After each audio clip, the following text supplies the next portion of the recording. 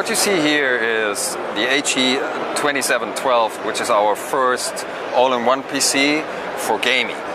So that's pretty new. This this was the only category where MSI couldn't offer anything uh, which was um, focused on the gamers. So now we have it brand new. It's, it's going to come out within the next two months. Um, it's a 27-inch uh, AIO PC. Everything integrated as it needs to be for all-in-one PC. Um, you have a Core i7 um, CPU inside, a mobile CPU. So the whole technology which is inside this screen is uh, mobile technology. And um, the special part of it is, of course, the graphics.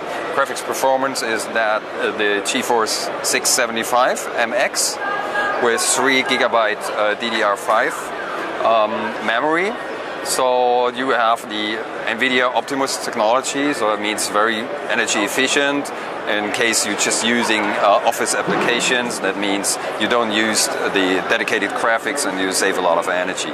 Uh, you have 16 gig of uh, main memory and um, a whole lot of um, connectivity.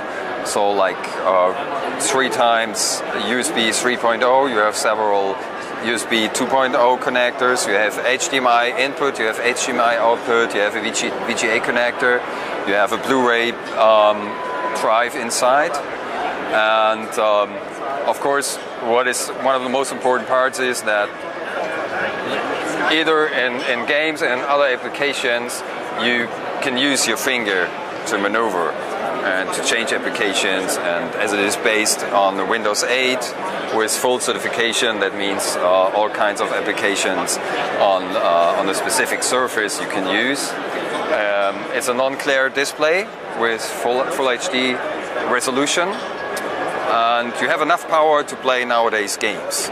So you have full power at the same time you save a lot of space on your desk and everything is clean and neat because there's no cable lying around. Um, so very straight, but still made for gamers.